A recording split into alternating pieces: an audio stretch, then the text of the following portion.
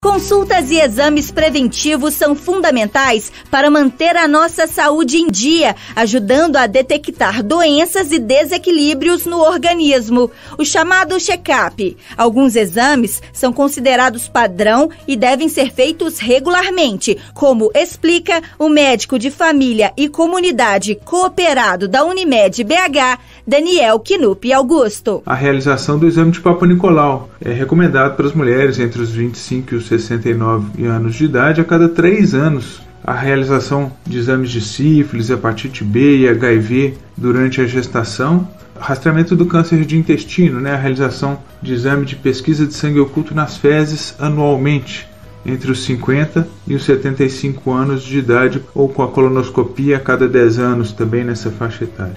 A aferição da pressão arterial anualmente a partir dos 40 anos de idade é uma outra recomendação para a qual há um consenso. Itatiaia Viver Bem. Oferecimento Unimed BH. Para ficar perto, vale todo o cuidado do mundo.